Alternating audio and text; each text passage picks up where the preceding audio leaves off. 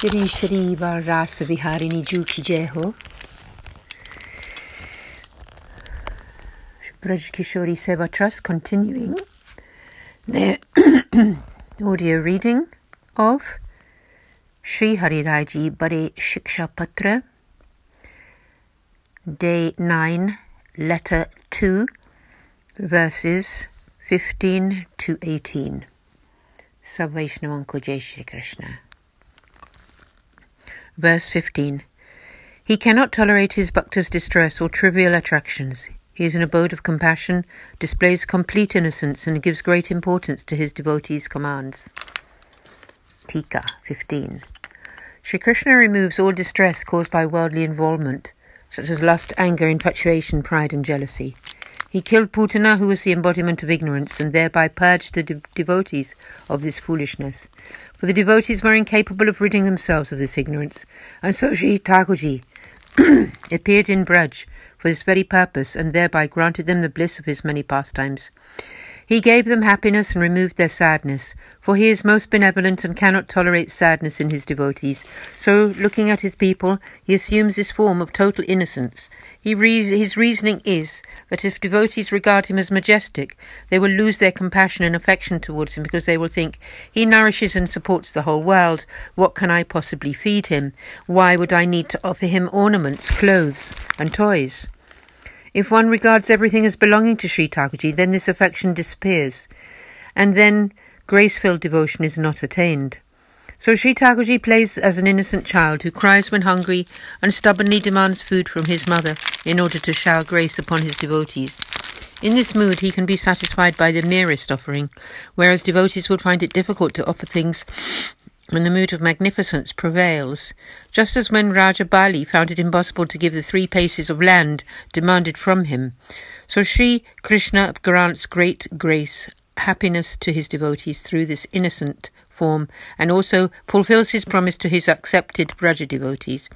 He told in the, as told in the Srimad Bhagavatam, some of those devotees, devotees ask him to fetch a stool, a cradle, or sandals in return for some butter. Or they tell him to dance, and he does as he is told. He does whatever makes those Braja devotees happy. Verse 16 Sri Krishna is intent upon containing his devotees into his own reality by removing their false sense of the world. He assumes the role of a child and is amazing from moment to moment. Tika 16. The heart and mind of Sri Thakurji's intimate devotees is not attached to the worldly home but to him alone. So Sri Krishna enters their home to steal from them. When he steals their milk, yogurt, and butter, their mind must becomes focused upon him.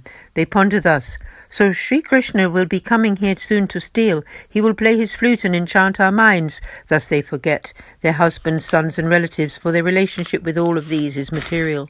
Sri Krishna removed all of the devotees' ignorance when he slew Putana. He is always intent upon their gaining one pointed devotion to him.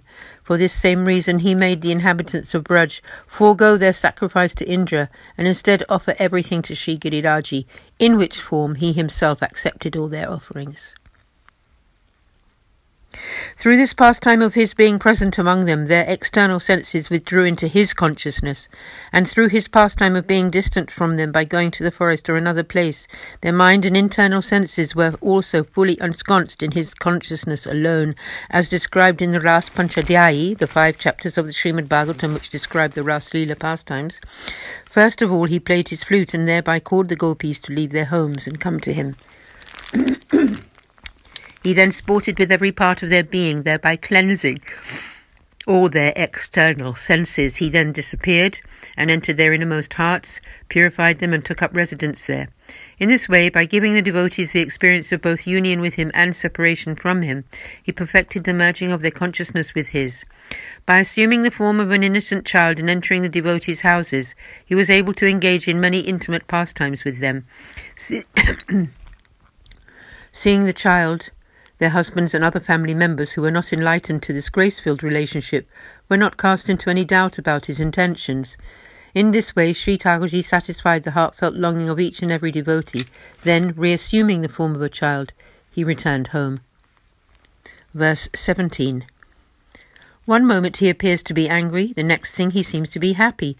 He is satisfied with the smallest thing offered to him by his devotees. He exclusively knows the innermost desire of his devotee's heart. Tika 17. In his pastimes as a child, he displays anger momentarily. If Sri Yashodaji becomes absorbed in her housework, he overturns the yogurt storage pot and feeds stolen butter to the monkeys, and then rolls on the ground. Whatever Sri Yashodaji does to calm him down, he doesn't listen. He obstinately demands the moon, or becomes very cross if there is not enough butter with his meal. Then at other times he laughs and is overjoyed to receive little gifts. For example, if Sri Nandaraji brings him a toy, a flower, or some fruit, the gopis also present him with some new variety of foodstuff, butter, or new small gifts. With these, Sri Thakurji is immensely satisfied. In return, he is always ready to fulfill these devotees' heart's desire. In fact, he is exclusively intent upon knowing their heartfelt sentiments. The Lord appears as a child in Sri Yashoda's home, purely to grant happiness to the devotees. So, in the grace filled path, the Lord is known to be on the devotees, sorry, the Lord is known, the devotee's will, to fulfill the devotee's will to the exclusion of all other knowledge. Verse 18 Sri Krishna enjoys secret and mysterious pastimes, and he is the embodiment of the essence of the devotee's private devotional moods. He behaves in contradictory ways and should be served very attentively.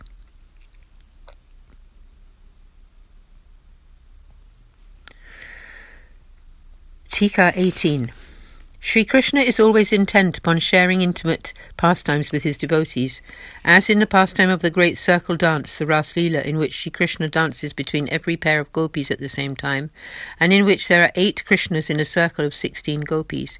And for each and every devotee he makes endless pastimes, the circle dance, annoyance in love, playing in water, playing with them in many varieties of secret bowers in the forest of Vrindavan. Within the gopis' homes, he plays as a child, and then as a youth, he has endless games associated with milking the cows in the cow pen. There is no limit to this ocean of pastimes, but he is especially attached to the intimate ones because there is no depicted mood.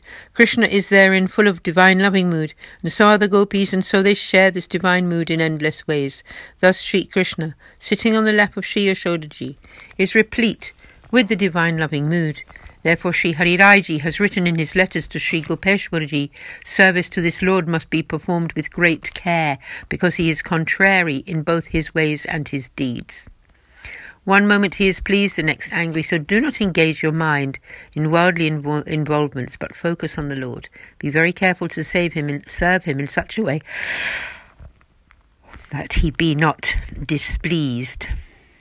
Concluding the reading here for today at the end of Tika 18. Tomorrow we continue with verse 19. So Vaishnavan ko Jai Shri Krishna, Aj ke ki Jai, Shri Hariraiji ki Jai, Shri Balabhadish ki Jai, Jai Jai Shri Radhe.